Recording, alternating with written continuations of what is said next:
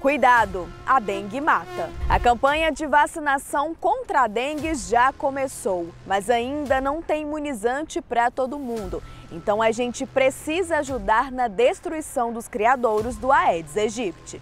Permita o acesso do agente de endemias em sua casa e siga as orientações de combate ao mosquito. Quem cuida de um, cuida de todos.